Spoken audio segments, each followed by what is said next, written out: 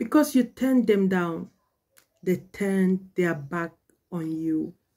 Hallelujah. Glory to God. This is Pastor Honorine. Thank you so much for clicking on my video. The Lord bless you abundantly.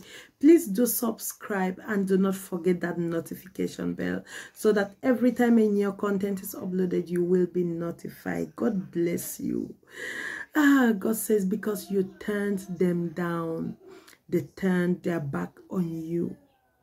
And this word is a wisdom word for someone people will come to you during the good times or because they need something.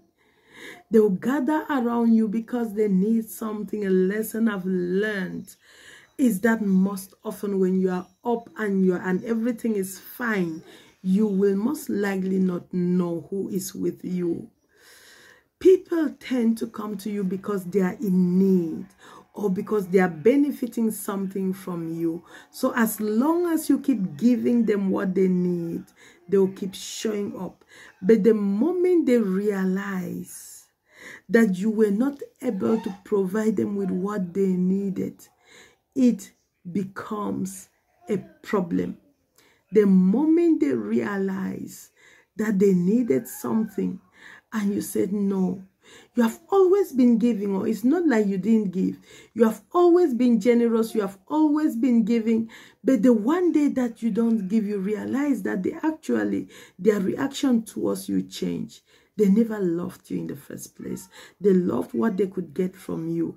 And such people, you don't have to miss them. No, don't bother losing them.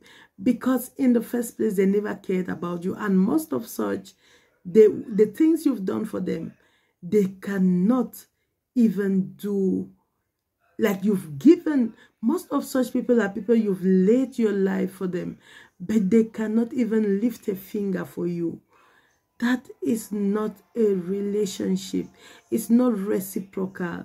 And i know that sometimes you are sent to someone's life not because you are supposed to get something back but, but but because you're supposed to be a blessing to them. And that is okay that is wonderful.